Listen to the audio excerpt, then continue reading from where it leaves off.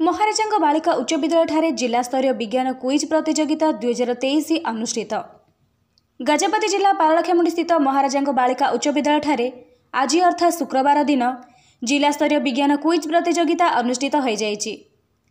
ଜିଲ୍ଲା ଶିକ୍ଷା ଅଧିକାରୀ ଶ୍ରୀ ପ୍ରଦୋଷ କୁମାର ନାୟକଙ୍କ ନିର୍ଦ୍ଦେଶ କ୍ରମେ ଏହି କୁଇଜ୍ ପ୍ରତିଯୋଗିତାଟି ଆୟୋଜିତ ହୋଇଥିବା ବେଳେ ଜିଲ୍ଲା ବିଜ୍ଞାନ ନିରୀକ୍ଷକ ଶ୍ରୀ ଏ ରବି କୁମାର କାର୍ଯ୍ୟକ୍ରମର ଶୁଭାରମ୍ଭ କରିଥିଲେ। ଏହି ପ୍ରତିଯୋଗିତାରେ କନିଷ୍ଠ ବର୍ଗରେ ଏକାବନ ଜଣ ଛାତ୍ରଛାତ୍ରୀ ଏବଂ ବରିଷ୍ଠ ବର୍ଗରେ ତେପନ ଜଣ ଛାତ୍ରଛାତ୍ରୀ ଭାଗ ନେଇଥିଲେ।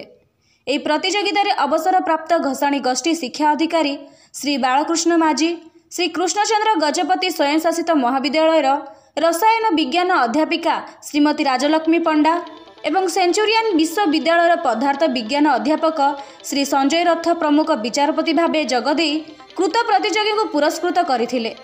ଏହି ପ୍ରତିଯୋଗିତାକୁ ଏନ୍ ଜଗଦୀଶ ଓ ବିଦ୍ୟାଳୟର ସମସ୍ତ ଶିକ୍ଷକ ଓ ଶିକ୍ଷୟିତ୍ରୀ ସହଯୋଗ କରିଥିଲେ।